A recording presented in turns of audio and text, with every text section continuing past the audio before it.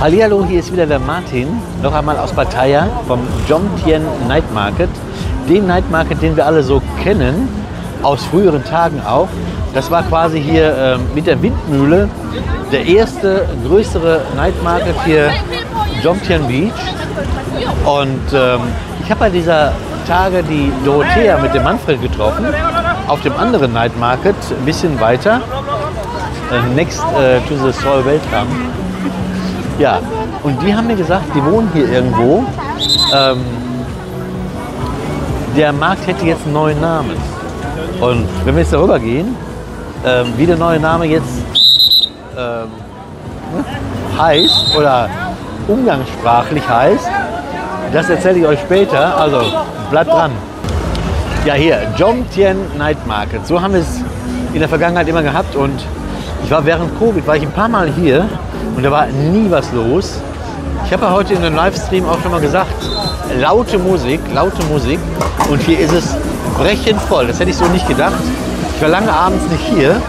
Es ist jetzt 20.30 Uhr und wir gehen jetzt mal hier durch die, durch die Gassen durch. Und ähm, dann könnt ihr gleich selbst entscheiden, was ihr dem Namen hier, äh, was, was ihr dem Night Market hier für einen neuen Namen geben würdet. So, ähm, ich kann mal so viel sagen. Es fängt mit R an. Ja. Weil hier wohnen natürlich viele, viele ähm, ja, neue Bürger, neue Mitbürger, äh, Dauerresidenten und so weiter ähm, aus Russland. Ich habe nichts dagegen, also verstehe mich nicht falsch. Aber es ist hier alles darauf eingestellt. Du siehst also hier viele, viele ähm, äh, russische Schilder und so weiter und äh, Food-Beschreibungen. Alles kein Problem. Weil ich bin ja froh, dass die Leute hier sind und ähm, nicht in die Ukraine müssen. Also von daher verstehen wir uns richtig. Guck mal hier. Es ist 20.30 Uhr. Hier gibt es Streetfood ohne Ende. Guck mal hier, die frischen, die frischen Hähnchen hier aus der, aus der Rotisserie. Guck mal hier. Da sind sie. Das geht hier wirklich. Kostet ein halbes Hähnchen 100 Baht. Kann man nicht meckern, oder? Kann man da meckern? Ich meine nein. Und hier nebenan wird es noch besser. Guck mal hier. Die Rippen. Die Rippchen aus dem großen Fass. Immer verrückt. Da ist Holzkohle unten drin. Ein Holzkohlefeuer in diesem Fass. Und das ist der Wahnsinn hier. Die schmecken, die sind saftig, wenn die frisch da rauskommen. Ich mag sie nicht, wenn die schon hier äh, ein bisschen rumliegen. Aber wenn die aus dem Fass rauskommen, dann ist das wirklich der Hammer. Guck mal hier.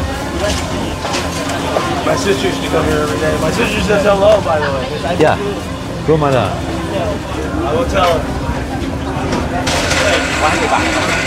Für Zuschauer aus Ostdeutschland ähm, dürfte dem einen oder anderen die Sprache noch bekannt sein hier. Aber wie gesagt, ich habe da überhaupt nichts gegen, ganz im Gegenteil.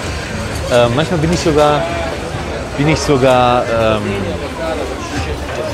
ja wirklich manchmal traurig, wenn ich sehen muss, die sind ja teilweise auch hier und wissen gar nicht, wie es weitergeht. Aber das ist eine andere Geschichte. Wir wollen ja hier Spaß haben. Guck mal hier. Und das ist der, das ist der Foodstand, der bei mir nebenan auf dem Night Market auch zugegen ist. Hier gibt es die, die habe ich gestern gehabt. Silke und ich haben ähm, hier den Kartoffelauflauf gehabt. Hier gibt es die Kartoffel, die Knoblauchkartoffeln. Da gibt es Kartoffeln. Da gibt es Hähnchen mit Paprika. Ähm, der Rosenkohl. Leute, ich sage euch eins. Hier gibt es Rosenkohl. Rosenkohl für 60 Baht eine Portion. Und Spinatauflauf. Ich habe es alles schon probiert. Fast alles. Ich bin begeistert.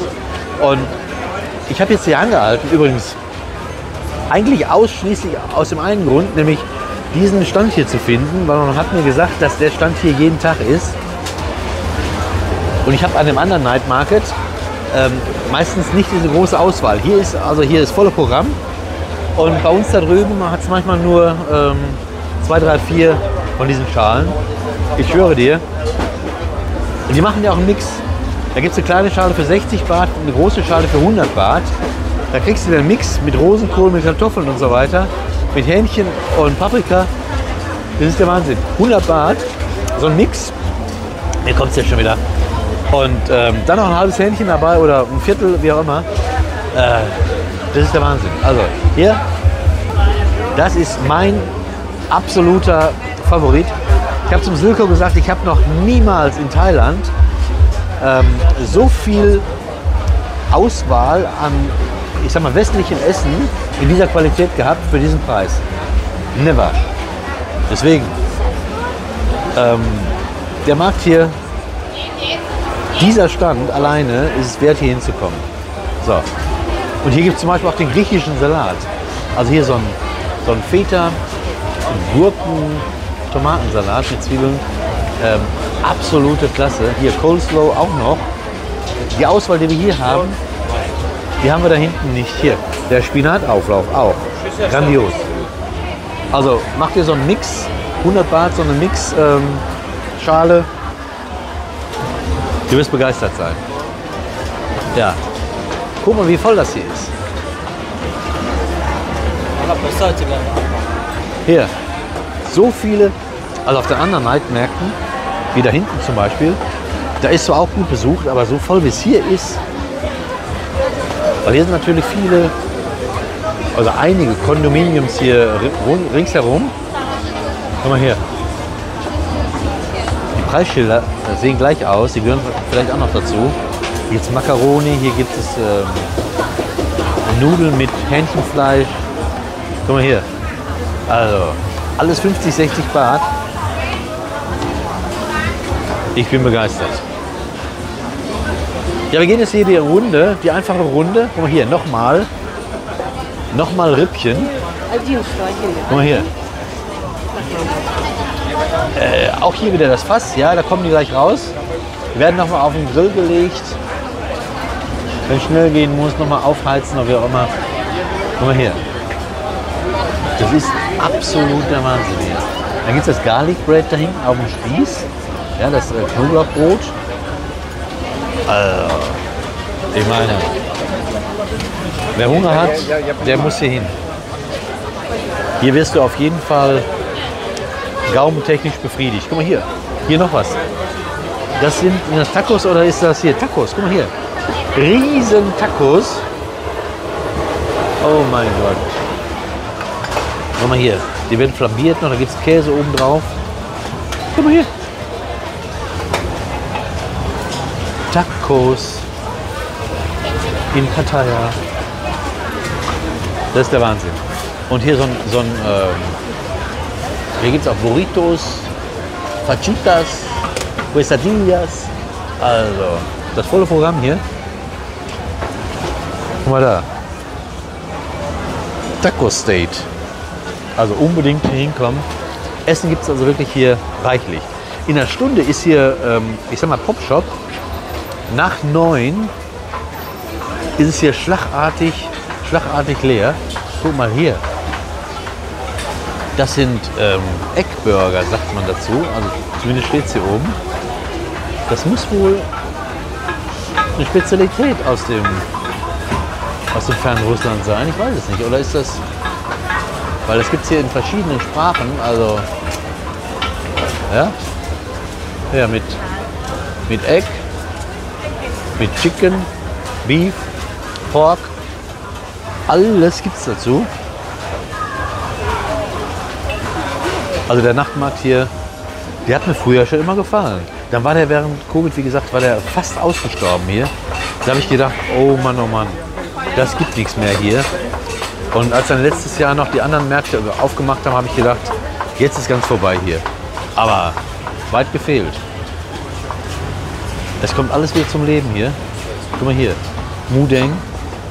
Reisgericht mit rotem Schweinefleisch. Dazu gibt es das Ei. Eine äh, richtige schöne rote Soße oben drauf. Und äh, das Ganze ab 65 Baht. Also für 2 Euro bist du hier immer gut dabei. Ja, hier wird noch Somtam gemacht. Auch mal eben reingeschmissen in den großen Mörser. bisschen Chili. Und dann geht das los. Da kommen die Tomaten rein, da kommen die, die Bohnen, genau, die grünen Bohnen, die langen Bohnen, klein geschnitten. Dann kommt der Palmzucker da rein. Äh, und noch ein bisschen. Da, jetzt kommt die Tomate. Tomate. Die Limette, Limettensaft. Und die Schale kommt ja auch mal da rein. Wird mit klein gestampft. Meistens zumindest. Nicht immer so viel, aber die hat sie jetzt rausgenommen. Ah, normalerweise kommen die Limettenschalen auch mit da rein. Jetzt kommt die Spezialsoße drauf.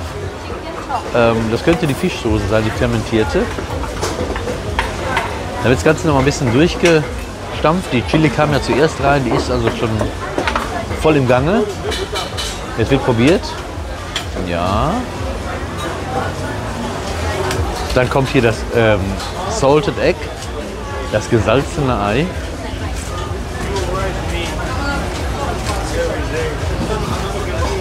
Und gleich kommt nur noch zum Schluss die Papaya oben drauf. Ach, eine Korn. Guck mal, es gibt einen Kornsalat. Nix Partei, äh, nix Partei, äh, Papaya. Äh, Korn. Den mache ich besonders gerne. Oh mein Gott.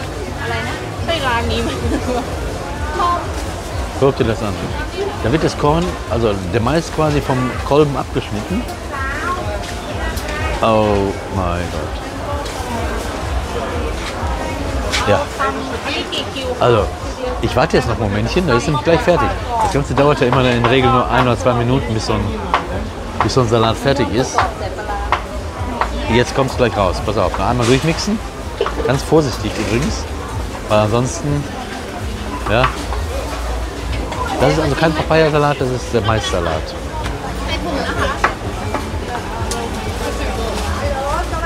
Tüte auf, ohne Trichter. Guck mal hier. Das ist Maisarbeit. Oh mein Gott. Also das ist einer meiner Lieblingssalate. Ähm, dieser Maissalat.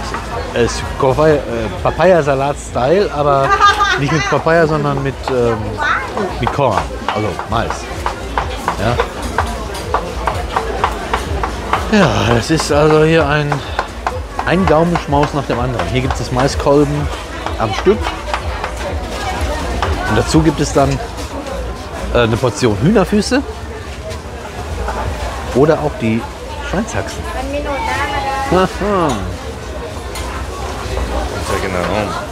Ja. Ja, gut, gut.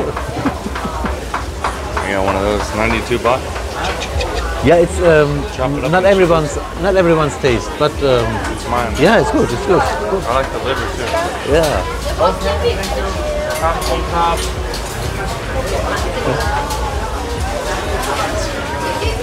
So here. This must be. Ach, ähm, das muss wohl äh, Fisch sein.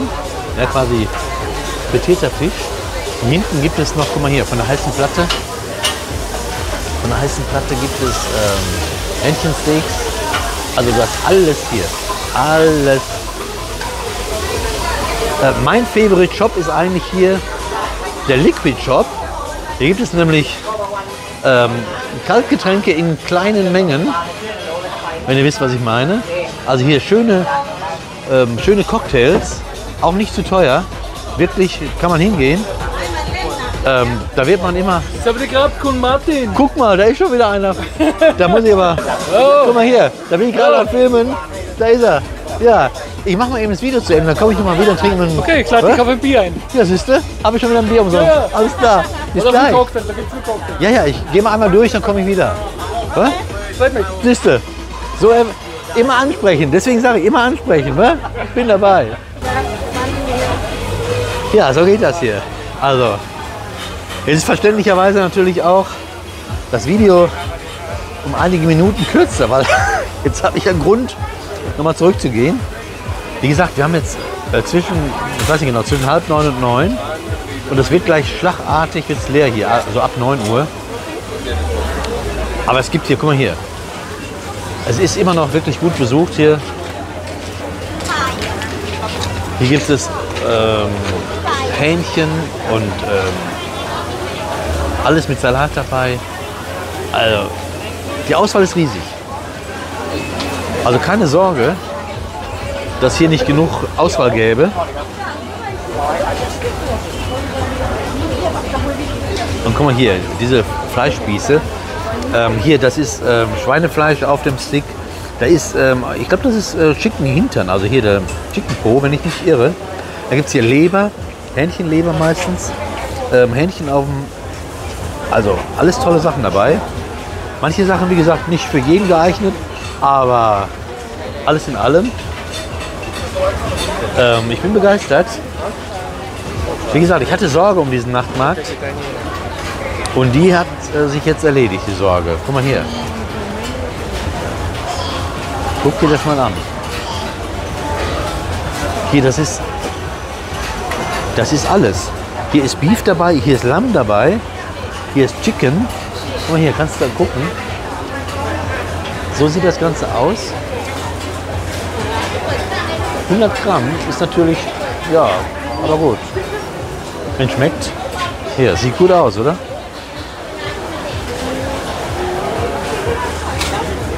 Ja, und hier gibt es ein paar Reisgerichte, verschiedene, mit Ei dabei oder auch ohne, je nachdem.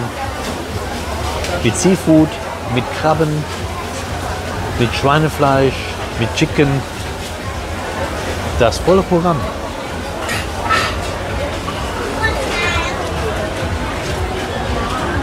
Deswegen, Vorurteile beiseite, einfach mal, einfach mal hingehen, da wo es weh tut, da wo es gut riecht, wie auch immer. Guck mal hier. Ähm, hier gibt es Pizza. Pizzastückchen. Sehen nicht so schlecht aus, aber wie gesagt, ähm, ich mag sie lieber gerne frisch. Aber für 60 Baht oder für 80 Baht, ähm, da kann man ruhig mal einen Test wagen. Das kann man ruhig machen. Und hier, ihr seht immer die Schriftzeichen hier. International. Mal hier die Riesenwurst. Die Riesenwurst, die ist richtig lecker. Hast du da eine von auf? Da bist du aber satt. Oh, schon. Und hier auch der Fisch. Es ist ein Nachtmarkt, den ich so nicht erwartet habe. Wie gesagt, ich habe mich da immer ähm, auch, weil da vorne immer so viel los war, weil da vorne immer so laut war, also quasi am Anfang des Marktes, hier da vorne, wo es das Bier gibt, äh, das ist richtig laut. Da tanzen die Kinder nach lauter Musik. Ist auch alles okay. Für mich natürlich ein Graus, weil ich ja hier mein Video machen muss ähm, und da die Musik im Hintergrund nur stört. Und nicht nur stört, sondern auch noch Probleme bereitet. Guck mal hier. Kartoffeln. Oh.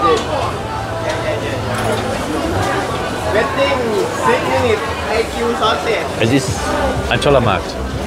Also, wie gesagt, noch einmal. Die Menschen, die hier sind, ich bin froh, dass sie hier sind und nicht woanders. Ja. Hier gibt es für alle was. Hier, Döner, Kebab, ähm, meistens Hähnchen. Hier, das ist Hähnchen. Hier ist nochmal äh, Beef. Also, es ist für jeden was dabei. Für jeden. Ja, und wer nicht essen möchte, kann sich auch so Appetit, wie gesagt, Appetit holen, ja.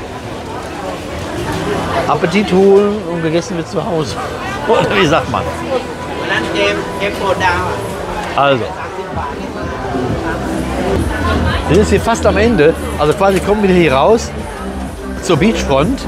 Da läuft die laute Musik, deswegen mache ich jetzt Feierabend. Ich sage Tschüss, bleibt gesund, dann braucht ihr keinen Doktor. Daumen hoch für den Tipp was sieht, äh, für den da war ich nämlich vorhin Tiprasit Night Market, da war ich vorhin mit Bangkok and More. Also, ähm, guck mal hier. Ja, sicher. Guck mal hier, noch einer. Ja, ich mache jetzt hier Feierabend, bevor die Musik nicht. Äh, also, bleibt gesund. Hier vom ähm, Jomtien Night Market. Tschüss und bis bald. Ciao.